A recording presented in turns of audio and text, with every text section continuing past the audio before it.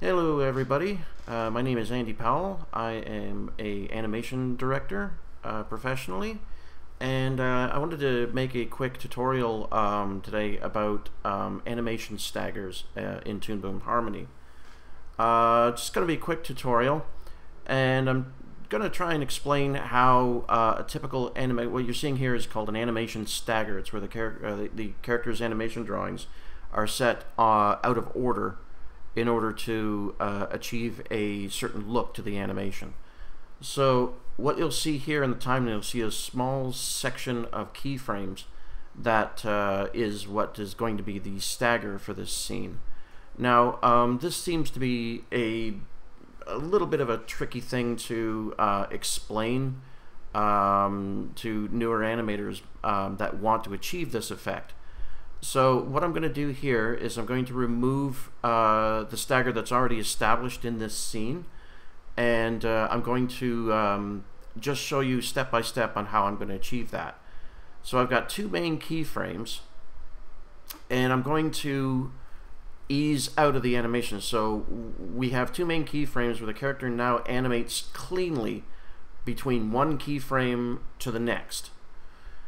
Now the next thing I'm going to do is I'm going to then create the stagger through keyframes. And the usual trick that I do is I will keyframe backwards from the end keyframe to the beginning keyframe. You'll see there in the timeline right now I'm adding keyframes within that highlighted bit. So I've just keyframed everything backwards.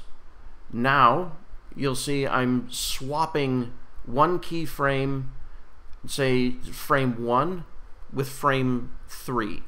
I do that by uh, copying and then pasting the uh, frame 1, dragging frame 2 over frame 1, and then pasting frame 1. So it now goes 2, 1, 3, etc.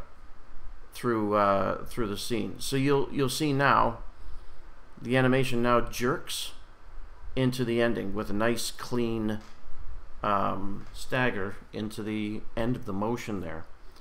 So as you can see, we get that what we call a stagger effect by doing, uh, like basically changing the order of the drawings. It takes a little bit of practice to figure out exactly, but uh, in the end you'll eventually figure out the, the order of the frames that, that you'd like to achieve the motion. Anyhow, uh, if any of you have any further questions about something like this or questions about Toon Boom Harmony in general, please don't be afraid to send me a message through either the any of my social media sites. They're all linked in the description through YouTube, and I'd be happy to answer your questions. Uh, I'll try to make more uh, tutorials uh, this sort of uh, way uh, in the future. But yeah, thanks for listening, and talk to you again. Bye.